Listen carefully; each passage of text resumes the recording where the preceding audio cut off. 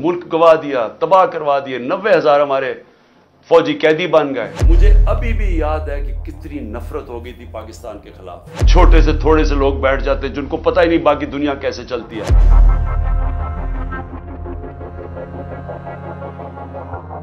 मैं आज फिर से याद कराना चाहता हूँ ईस्ट पाकिस्तान का।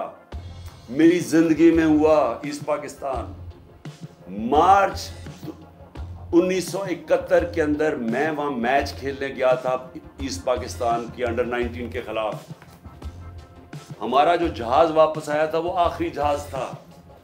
मुझे अभी भी याद है कि कितनी नफरत हो गई थी पाकिस्तान के खिलाफ।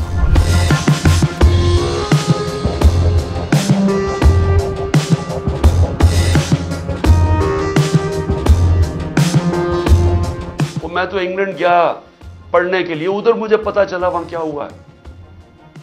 आज हमें समझना चाहिए कि ईस्ट पाकिस्तान के लोगों से इतना बड़ा जुल्म हुआ।